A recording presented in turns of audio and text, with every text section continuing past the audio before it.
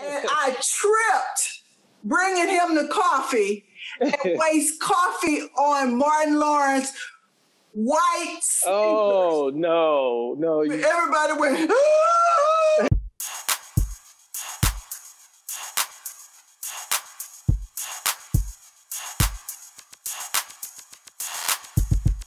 Good afternoon, and thank you for joining me for this episode of Ask Aunt Tricia.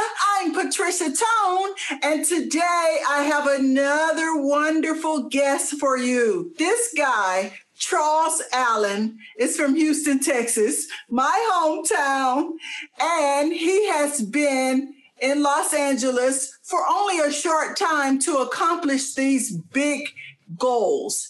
His latest work can be seen nationally on Bounce TV as a writer and an actor for shows such as Family Time, In the Cut, and Grown Folks. He's currently doing stand up comedy throughout the United States.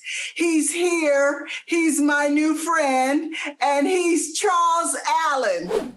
Hi, Charles. How are you, my friend? I'm good. How are you doing? Good to finally catch up with you. I know it's been a long time in the making, huh? Yeah, I thought you was ducking and dodging me for a while. I said, I can get you. finally caught you. Finally nailed you down. uh, uh, I don't play those kind of games. If I don't want to be bothered, I'll be like, no. Hey, no. we from Texas. That's how we get down, huh?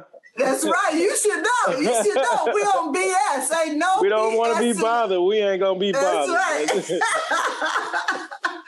so it is so good for you to be here for me, taking time out of your busy schedule. I just want to say I really, really appreciate it. Oh, I appreciate you having me. It's always a pleasure. I'm glad we finally got a chance to do it. I really am. Absolutely, absolutely. I totally agree because you know we were trying to figure out where we met, and I realized it was at the J Spot Comedy Club in Inglewood yeah. one night.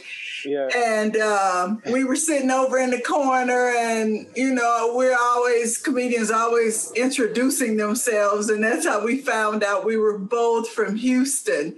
Now I remember. Yep, we was in the uh, in, in the comedian section in a little green room yeah. over in the corner. Yeah, I remember that. Yep.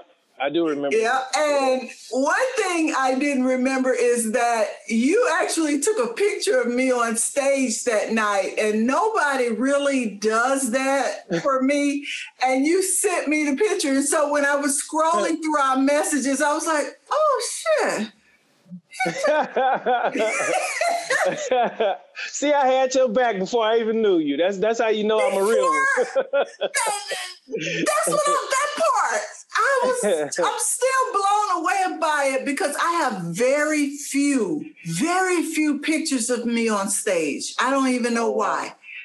I I, yeah. I just don't have any. And I would I was always a host, you know, and I would right. uh, go to some of these little smaller clubs and take my little comedian crew with me. And I don't have a doggone picture of me doing any of that. What about video? Nope, that's what I'm saying. This this is probably how old we are. We we it wasn't like it was, you know, right right now. You know, everybody had the cell phones and capturing yeah. people and doing this and that.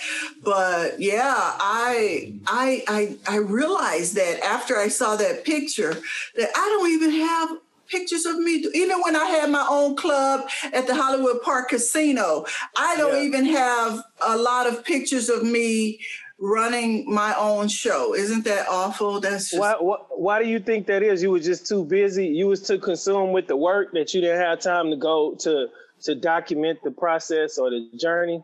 Yeah, I think you hit it on the nose. I didn't even consider documentation, and I don't even know why. It was so stressful. You know, you work with comedians. Oh, yeah. Oh yeah. You know, you know how they are. oh, I know. Everybody, everybody wanted to be a headliner. I'll never forget that. Yeah. And all of the people that I knew weren't headliner material. Right. And not to say they wouldn't grow into that status, but right. at the time, I didn't feel they were they had 45 minutes. Let me say it right. like this. They I didn't feel they had 45 minutes of solid material. Right. And what I don't like as a comedian and as a host and as a producer of shows, I don't like comics to ramble on stage when it's a real show. You know, when right. people have paid their money to come see a solid show, I don't like comics who get up and their whole thing is talking to the audience. Right. You know? I don't want nobody insulting the audience or making mm-hmm. jokes at the audience because they didn't come, they didn't pay to come to be insulted. You know, they right. came to hear jokes. Yeah. And so I was the biggest bitch in town. uh, everybody, they they fucking hated me, Charles. I, I, they couldn't. First of all, they couldn't believe that I had booked that room at the Hollywood Park Casino in Inglewood. And yeah. Then they couldn't believe that I had the whole second floor. The uh, casino had done signage for me. I mean, it was the best deal that any comic could have imagined. And nobody could believe that I did it. And I Made even tried to, yep. and I tried to bring other people in on it with me, and they didn't want to do the work. And so right. I just did my I drafted my own little proposal and did all this stuff and um, took it over there and they were like, "Oh, you can do this?" I said, "Yes, sir." And you know, at that time I was in my early 20s. I looked like I was about 15. They was looking at me like, "Okay." and yeah, and uh, it it didn't last long. They they I had people from New York and everywhere trying to sue me, saying oh, they wow. own they owned the logo, the stop sign, and they had trademarked and patented the stop sign, and that was my my name was Patricia Tone presents the comedy stop, and it was a stop sign. And they were trying to sue me for the stop sign. I'm like, you motherfuckers wasn't even born when that man created the stop sign. Right. So exactly. how are y'all trademarking the stop sign? Right. Dude, you talk about stress, and so the people got scared, and then they gave the show to. Uh, I think Katt Williams or some other comic, and uh, I was asked out. But that's ho- Hollywood history right there. That's right, baby. And little do they know when when it happened, all the stress left my body, and I was like, "Whoa, Lord, I don't have to deal with them heathens anymore." You know, I've been but, there. I know what you're saying. Yeah, it's a it's a rough thing being a female, being a comic. Yeah, you mm-hmm. know, people just don't understand the stress. And then when you're creative, and then mm-hmm. everybody want to steal your juice. You know, right. Mm-hmm. They you want everybody wants to want a piece of your energy. You know, like they want that energy. They want to be close to or, that energy. Or they want to kill your energy so yeah. they don't look lazy. Right. Yeah. Yeah. Like you, tell us, tell the people how you started your adventures with Bounce TV. I want to hear about that. That was like uh, with Bounce TV. Shout out to uh, Bentley Kyle Evans, first of all. Shout out yeah. to Omar Gooding. Um, yeah. That started, that journey started in 2005, actually, like my second or third year here in Los Angeles. Um, I was blessed enough to uh, work on an independent film with Omar Gooding called The Candy Shop. Um, mm-hmm. Alton Glass directed it. Alton and uh, I want to say Courtney Triggs produced it, and uh, I'm not sure who else. I've, I've, so it was so long ago, but um, it, it, went really well. And then what ended up happening is me and Omar clicked because we both are Libras and our birthdays are cl- uh, close together. So comedically and creatively, me and Omar Gooding kind of have this yin and yang, like Muhammad Ali and Bundini Brown. Like we kind of bounce off each other really well. And yeah. he, he picked it up and I picked it up. and we we stayed in touch. Like he did a couple of albums, and I would do like little comedy skits on his albums, and and wow. we just kind of stayed in touch. And then you yeah. know, fast fast forward 13 years, because you know in Hollywood they say it's an overnight success. But you know, yeah. 13 years was like a long time. I, I, I, seen some things. I went through some things, but uh, Omar got picked up by uh, by Bentley uh, Harvest Studios to do Family Time, and he I randomly called him one night because I used to just do prank calls just to keep him on his toes. I randomly called him and he answered the phone, but I was just gonna leave a message and prank call him. And he uh, said, "Hey man, uh, come to the studio. I want you to come check out the show I'm working on." And four, five, six seasons later, I'm on like on the writing staff and you know acting here and there on the show. Wow. that ended up uh, that I fast forwarded through a lot of scenes in this movie. Like I went from the good yeah. part to the good part, but in between yeah. that, like don't think I didn't die and come back three or four times. But uh, yeah, yeah, I, am very fortunate and blessed that I was able to, to persevere, and uh, I'm very fortunate and blessed that I was just able to um, maintain through the whole process. So I don't, I definitely don't take any of it as something that was granted to me or that it was given to me or that it was owed to me because it wasn't owed to me.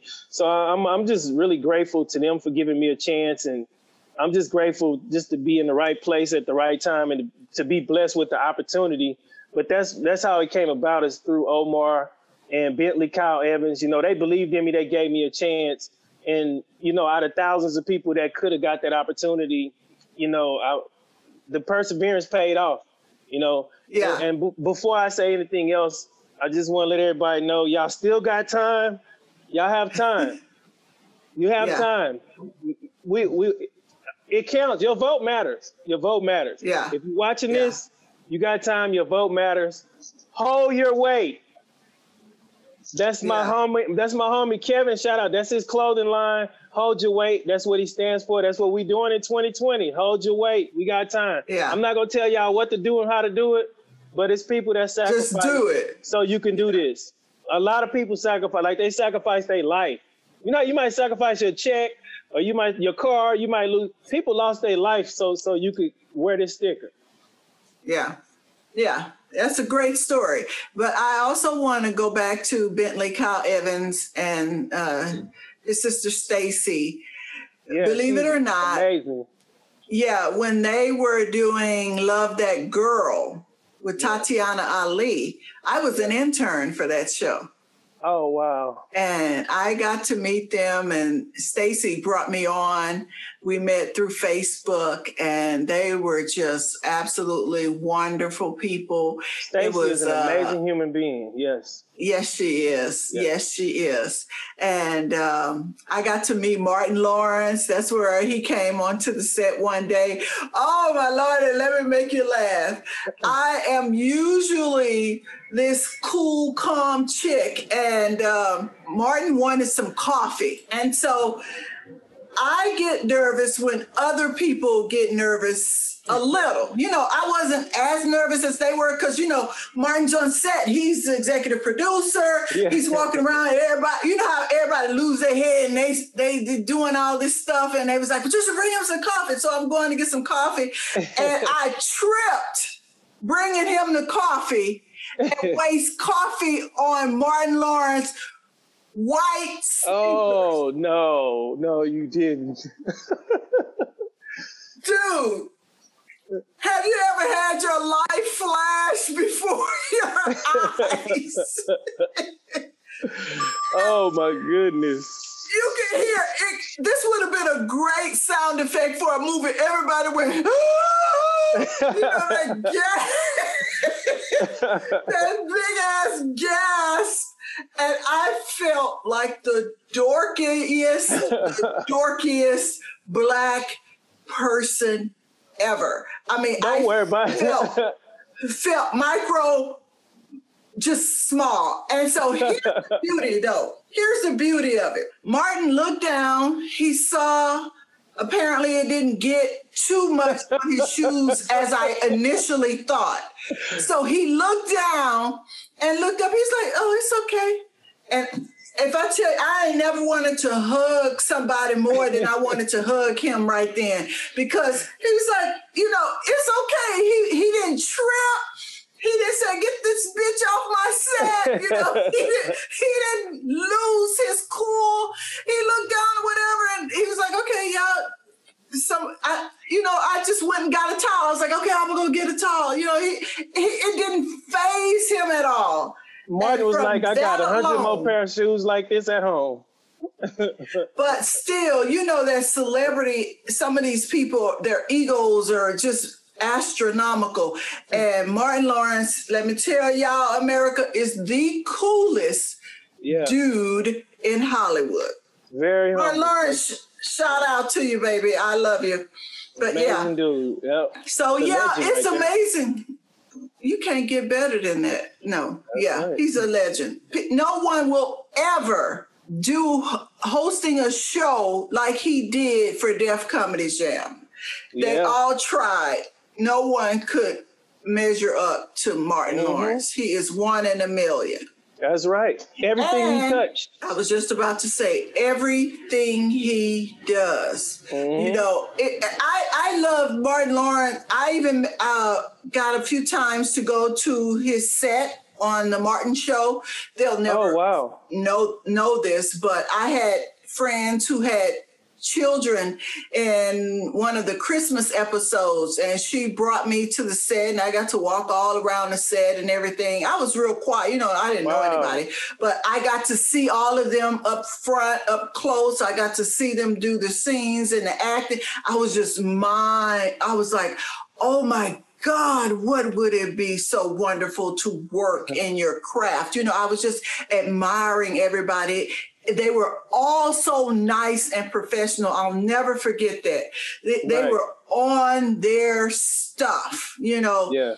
It, it, was just unbelievable. It was absolutely phenomenal. And I'll never forget that experience either. So this is so weird how we subliminally have linked up through some of the same people and right. it's just crazy how life works you know um, mm-hmm. so you know tell us about what you're doing now i see you've been posting some of the uh, comedy shows you've been going on so yeah. how how is stand-up comedy now in this pandemic um it definitely slowed down you know since march since the uh, whole yeah. pandemic started it's the the shows not no shows in LA really. They have a couple shows where they might do something on a patio or they might do something on a on a rooftop.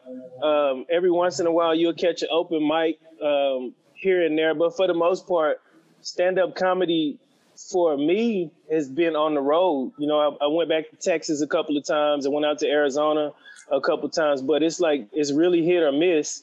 And yeah. I think as entertainers, kind of like what we're doing right now. It's up to us to stay busy and stay motivated and stay creative during this time because the opportunities are slow, but it's also a transition. So, like they say, if you stay ready, you ain't got to get ready. This is almost like a reset. We're hitting the reset yeah. button for a lot of people. Yeah. If if we stay consistent during this time, we're putting ourselves in a position where you got all this stuff. Like you might have 30 episodes of your show on deck and I yeah. might have 10 scripts or whatever it is.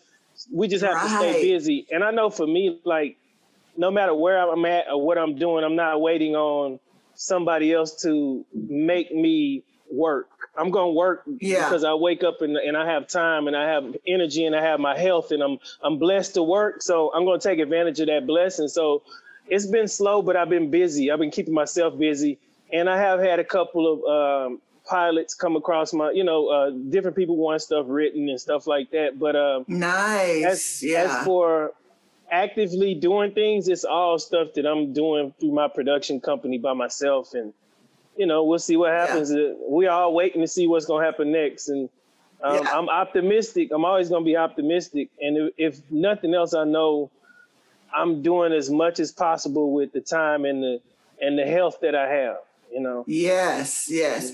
And see, that's ac- actually so accurate for me because I'm laying there and I'm like, God was like, uh, when you gonna get your, roll your big butt out this bed and do something? You've just been laying here eating and sleeping and binge watching. And I said, okay, you sure picked a good time for me to be the fattest I've ever been to be on camera. yeah. But let me tell you something. People like you and all my other guests and friends have they jumped up to the plate. And let me tell you i've been so teary-eyed every time somebody says yeah i got you. I'll do it. You can count me in.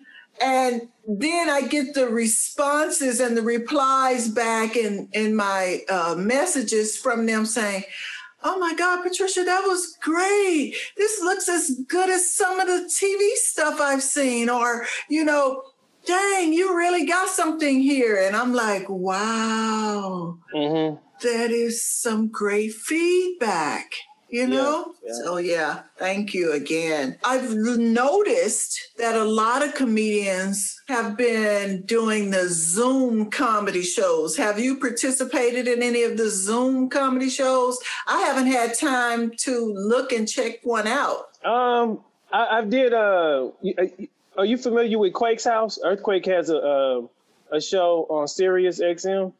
Yeah, yeah. yeah. Yeah, I, I do. Um, um, I regularly do that. Uh, Quake's house, which is always.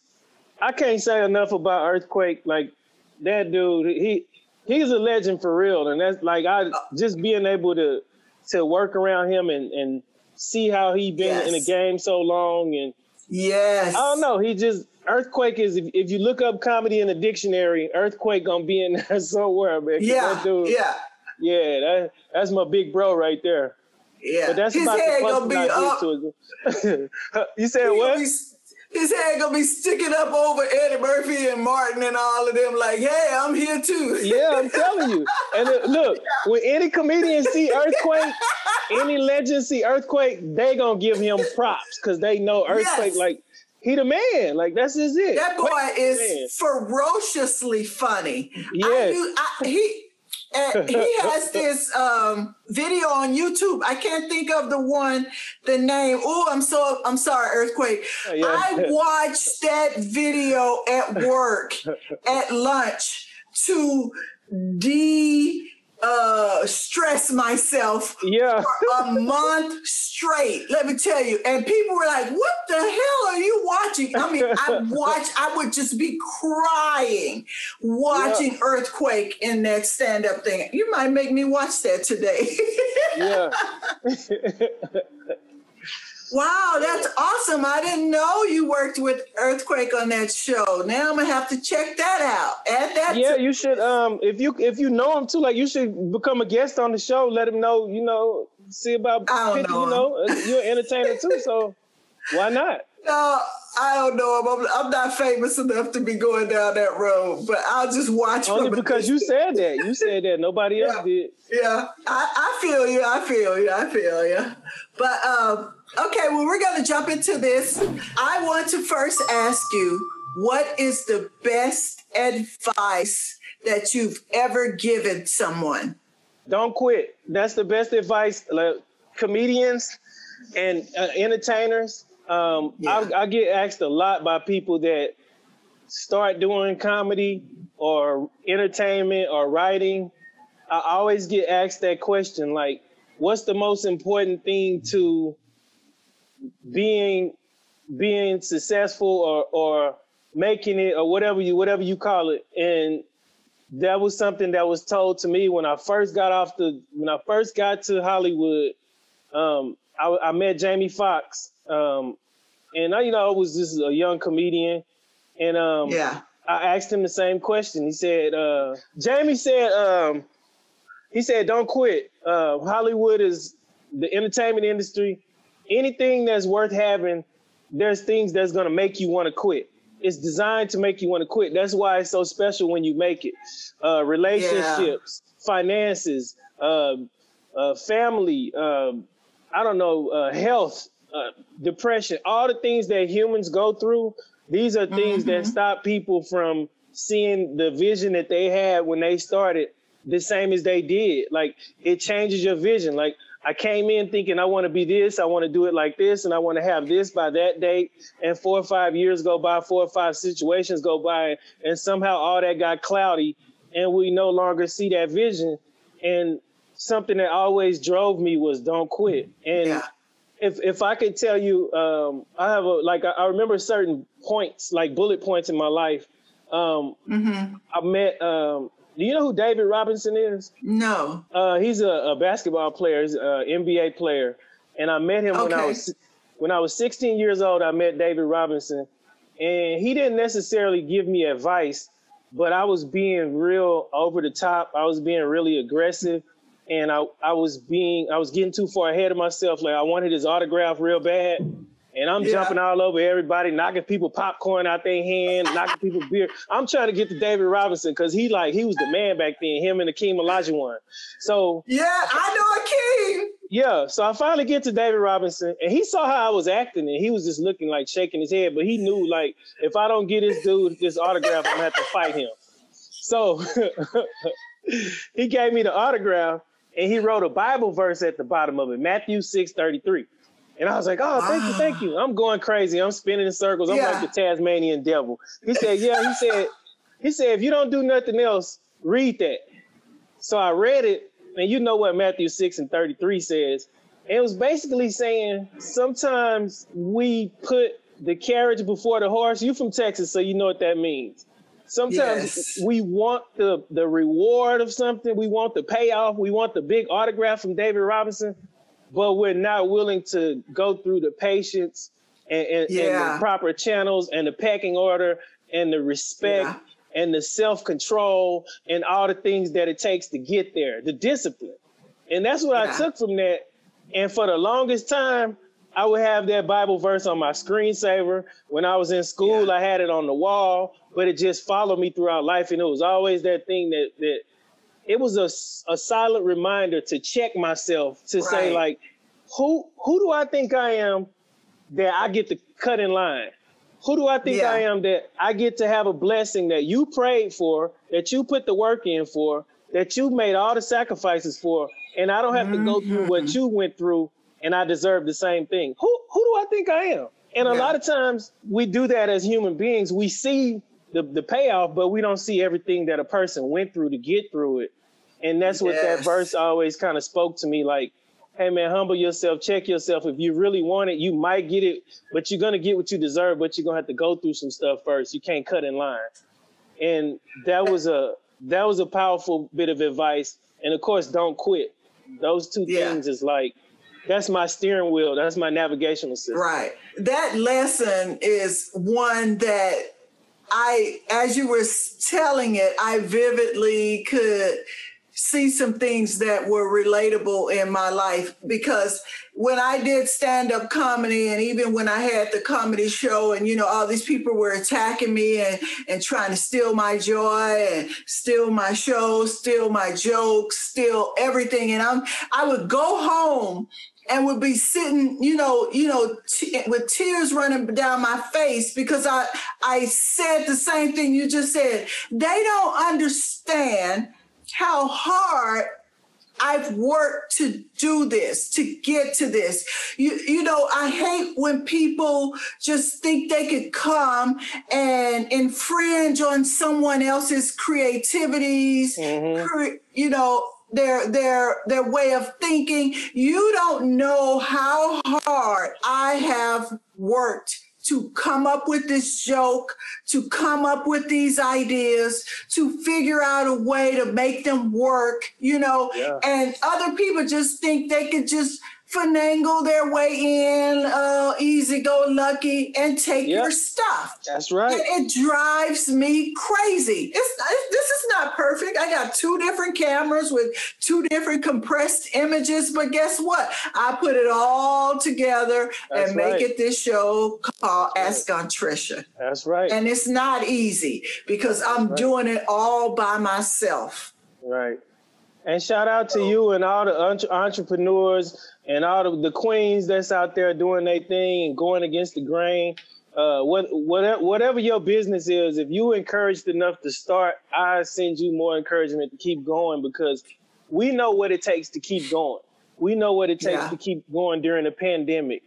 Um, yes. There's people that want to keep going, but they don't know how to get started or what's the next step or what to do next because nobody knew what was going to happen in the world. So, what little encouragement I have, I send that out to you and anybody Thank else that's you. like you, whether you're small business or you selling stuff on the internet or you selling, keep yeah. doing it. Like you said, your situation Thank ain't you. perfect, your setup ain't perfect, but it's perfect in its own way. And it's perfect yes. in a way that you're going to be blessed to go to another level because you took the step and you went against the grain and you put yourself yes. out there. That's all it is. And a lot of yeah. times we think that we have to be perfect or it has to be the perfect right. time right. or the perfect amount of money. None of that. The perfect, the most perfect thing you can do is start. Yeah. And, and then once you no, start, don't quit. Yeah, and then there's no such thing as perfection. So that that fantasy world that we live in in our head, where it has to be perfect, it, it's never gonna happen. That's right. Ever. Thank you again for that. I really appreciate that. That meant more to me than you'll realize. So now I'm going to flip the script and ask what's the best advice you've ever received besides the one we just heard about? I'm so glad you asked me this because there was a um, my stepmom who kind of like she had a lot to do with my upbringing, like my childhood. She had a big influence on on raising me. Um, mm-hmm. She passed away in 2011, and I was like, that was a, like a fork in the road in my life. Like that was because she was so important to me. Other than my daddy that passed away, she was one of the most uh, influential people in my life up until that point. And when she passed away, I was like really lost. And um, you know, being out here in California, not really having family, kind of being by myself pretty much 99% of the time, other than yeah. you know, friends that I've known since I've been here, but for the most part I'm I'm by myself. Um, I was I was in a dark place, like kind of like how do I keep going? And I met this this uh, older brother. He probably had to be like at the time like maybe late 60s 70s and we was he was taking us to a set. We was shooting filming a movie and um, he was p- driving us to the set. And i don't know how we got on the subject but he said no matter what happens and you can challenge this right now I, I, i'll guarantee you i'll be able to tell you make it work. He said no matter what happens in this world you can always find something good or positive. Yeah. No matter what happens I was talking to one of my friends and I told him that, and he he challenged it, and he threw out, uh, I think he said uh, murder or something like that, and I think I told the guy the same thing. I said, "What about when people get killed? Innocent people get killed." He said those innocent people did get to enjoy life at some point." and I was like, "Wow, you're right." And then I said something else. Uh, whatever, basically, whatever you go through, there's some good that could be seen in it. Well, um, I lost um, I lost my paycheck. Okay, well you still have a job. Um, yeah. Half yeah, my I money see. got stolen. Well, half of yeah. it didn't. You know what I mean? And it's it's yeah. a switch that goes on in our brain where if, if if you're in a relationship with somebody and they got a bunch of messed up stuff about them, and then they have a bunch right. of good stuff about them, what are you going to focus on? Yeah. Yeah. If, if if you if you have a show and you, you said, you know, your equipment, whatever, it's not perfect, it's not this, but what are you going to focus on that's going to make you do the show anyway? The good. Yeah. And some people see that as happy go lucky. And one thing I also learned, and and that's a question I maybe want to ask you. When you have an attitude of if you try and be positive or if, if you have an optimistic outlook, I never understood why that is so irritating to some people the, the fact that you won't give up or the fact that you refuse to look at this bad side or the fact that you refuse to focus on the bad or dwell on what went wrong what what do you think it is that makes some people why does that push some people in the touch some people in the wrong way? Well she always got a smile on her face. So he always looking like this. He, you don't know what that person went through to get to the point to where they smiling and you don't know that that smile might be the only thing that's helping that person hold on. And I never understood why some people don't like to see other people smile or, or being positive or happy. I never got that. Uh, it doesn't bother me, but I, it baffles me. we're in the same boat because I don't have an answer for you because I've been asking that question all my life as well because mm-hmm. I grew up around my grandparents and um, like you say, the good and bad. My daddy abused me, and that bad led to the good of my grandparents then covering me mm-hmm. for the rest of their lives, you know. Mm-hmm. And so, had they not been there for that covering, I wouldn't be the person I am today. That was an unconditional love that they had that I have yet to see from anybody else. And so right. all of the bad that happened to me as a child was then overbearingly high with the good of them till I didn't even know about the bad until I became a teenager. Being with them, I got to see things optimistically, you know. So right. being with my grandmother, grandfather, they they believed in just keep going, you know, no matter mm-hmm. what happened to you, keep going, which is right. the same thing as don't quit, you know. Right and so yeah I, I i wouldn't be here today and that's why i don't understand that and i can't help you with that answer and you let this never, interview be proof that i'm not only a comedian i'm also a therapist. Yes we are. All comics are therapists because we see things comically truthfully and hurtfully because we experience it all. it's something that it's just built into people or how they grew up. You know, some people. Right are not happy with other people's happiness. Some people just want to be the only ones making it, the only ones doing good. And no, that's not reality. So yeah, those are some good ones. Don't quit. And there's good in everything. There's good in the bad, even though you think it's not. Yeah, those are two good ones to live by. So yeah, I want to thank you for being here today, Charles, and uh, let the people know again where they can hear you on Earthquake Show. Oh yeah, Quake's House, um, Sirius XM. Uh, Kevin Hart Laugh Out Loud Network, Sirius XM channel 96. Um, it's Tuesdays at 1 p.m. That's uh, West Coast time, so that's Pacific. Um, it's it's recurring, it reruns, and then if you're watching uh, Family Time on Bounce TV or in the cut, just support Bounce TV, the, the the only, the first and only completely black owned and run production TV network uh, for us, by us. Support Bounce TV. Um, you can follow me at Charles Allen 79. I'm on all platforms. Anybody's welcome. And um, shout out to again to Hold Your Weight. Um, another uh, black business owner, one of the brothers out here in Hollywood, personal trainer. He has his own clothing line, Cracking Taco. Any black business, support my sister Patricia Tone. She doing her thing. And uh, Thank you. y'all keep your spirits up. And I'm gonna say it again. Yes. I'm gonna get up in the camera. Do it. Just do it. Yes. Like Nike say, yes. just do it. Shout out to just Bentley Kyle it. Evans, Omar Yes. Um, and Stacy Evans. Cracking Taco. I mean, I'm just it's so many like sleepers for billionaires. All these up and coming uh, black business owners. You ain't just got to be black. Yeah. But I'm gonna shout out my people first. But uh, any yeah. business owner, like everybody that's doing that thing, all the single mothers, like, and uh, we, we understand what y'all doing. Keep doing what you're doing.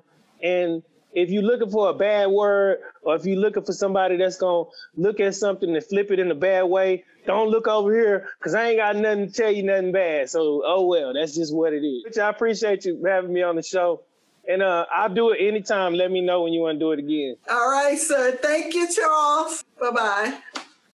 And thank you, Charles, for being here today. I really appreciate your time. What a wonderful, wonderful conversation we had. And thank you all for watching. Please remember to like, share, comment, and hit that subscribe button. Once again, thank you for watching Ask Aunt Tricia. I'm Patricia Tone. I'll see you next time.